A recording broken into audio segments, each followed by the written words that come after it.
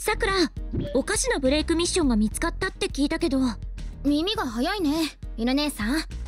まだ全部解析できてないんだけど。どんな歴史ださくら。新しい歴史か。新しくはないよ。宇宙世紀のミッションだからね。ただ歴史データが重なり合ってるんだよ。どういう意味？いつ頃の話なの？ブレイク現象が起きているのは88年サイド1の頃にムーンムー。ンムーンムー。ン聞いたことないけどそりゃそうだと思うよ。犬姉さんが生まれるはるか前から存在するコロニーだし。ラプラスの箱よりもさらに古い。ね。はあってことは宇宙世紀が始まる前 ?100 年の呪いより古い。どんなコロニーだ？さくら。お答えしましょう。まずはムーンムー。ンそして第一次ネオジオン戦争について。グリプス戦役から第一次ネオジオン戦争。そしてムーンムーンでの戦い。ものすごく早い展開ね。でも100年にわたり機械文明を排除してきたコロニーで戦闘なんて。それを止めるのが今回のミッション？小隊長はどう思う？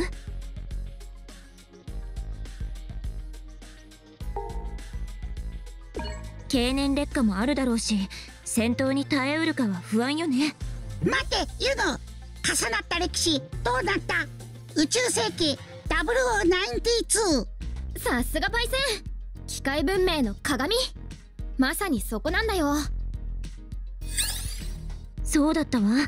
4年後のムーンムーンでまた騒動が起きるんだったわね。それが重なってるって同時に事件が起きるってこと？イメージとしては近いね。正確には3年前宇宙世紀0091に起きたサイコガンダムマーク4の撃破が原因なんだよ。破壊されたガンダムの破片がムーンムーンに漂着した時新たな歴史が開けた。サイコガンダムの系列機？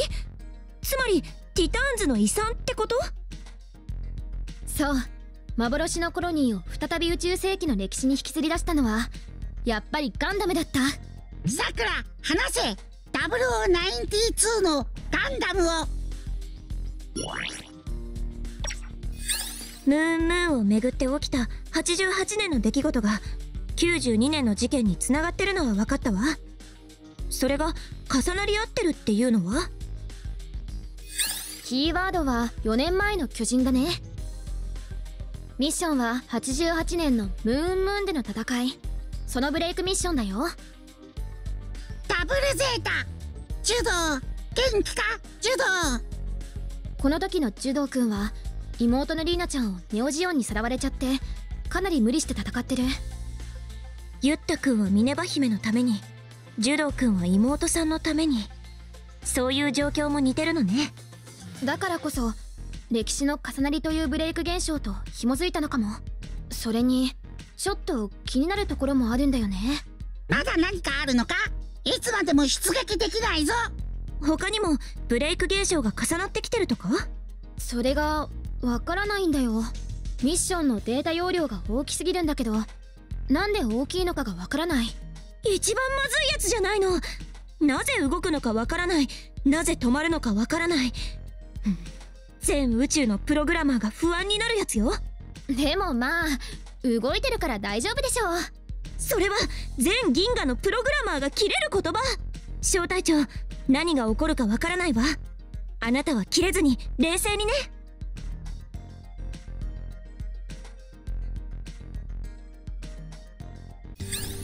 ここが第一世代コロニームーンムーン。今のところブレイク反応はなしだよ。人の心に反応するシステムにマシンに飲まれるな。くそ。サイコミが雑念を拾ってくる。言うことを聞けバンシー。でも戦闘は始まってる。柔道君なのかしら。小隊長さん急いで